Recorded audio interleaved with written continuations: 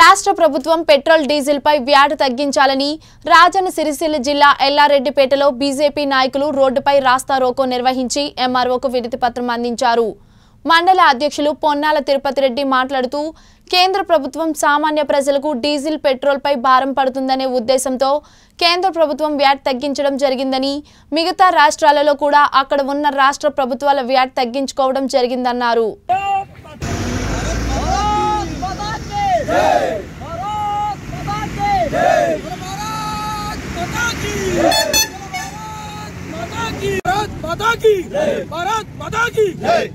భారతీయ Janata party Yellareddypet మండల శాఖ ఆధ్వర్యంలో ఈరోజు పెట్రోల్ డీజిల్పై రాష్ట్ర ప్రభుత్వం వ్యాట్ తగ్గించాలని నిరసన చేపట్టడం జరిగింది. అట్లాగే ఎంఆర్ఓ గారికి వినతి పత్రం ఇవ్వడం జరిగింది.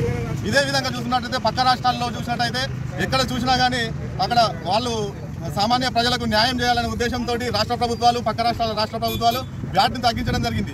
ఇక్కడ మాత్రం ఎందుకు తగ్గిస్తలేదు ఈ ప్రభుత్వం?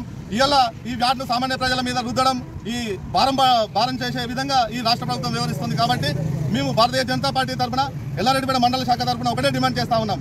ఇవి వెంటనే వ్యాట్ను తగ్గించాలి మన సామాన్య ప్రజలకు న్యాయం జరగాలి. న్యాయం జరిగే వరకు కూడా మేము ఇదే విధంగా మేము కొట్లాడతామని మేము భారతీయ జనతా పార్టీ తరఫున హెచ్చరిస్తా ఉన్నాం. ఇట్లే కేటీఆర్ మళ్ళీ ఒకసారి చెప్తున్నాం ఈ వ్యాధిని తగ్గించకపోతే సామాన్య ప్రజలకు న్యాయం చేయకపోతే మేము మిమ్మల్ని ఇక్కడికి రాణించే పరిస్థితి కూడా ఉండదని మేము భారతీయ జనతా పార్టీ తరఫున తెలియజేస్తున్నాం. భారత్ మతాకి!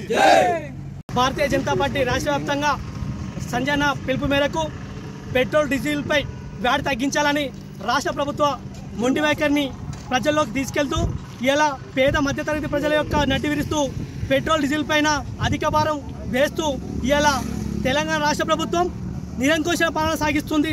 ఇది భారతదేశంలో వివిధ రాష్ట్రాల్లో చాలా రాష్ట్రాలు ఇలా కేంద్ర ప్రభుత్వం కొంత తగ్గిస్తే రాష్ట్ర ప్రభుత్వాలు కూడా కొంత తగ్గించాయి.